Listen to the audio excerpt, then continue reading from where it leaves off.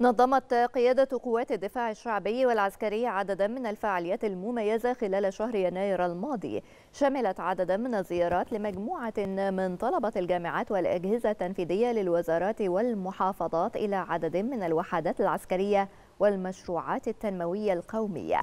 يأتي ذلك إيمانا من القوات المسلحة بضرورة زيادة الوعي لدى كافة فئات المجتمع المصري حيث تم تنفيذ زيارة لممثل جامعة عين شمس لمركز البحث والإنقاذ للقوات المسلحة وزيارة أخرى من جامعة دمنهور لأنفاق الثالث من يوليو فضلا عن تنظيم زيارة لمديرية الأوقاف بدمياط للعاصمة الإدارية الجديدة.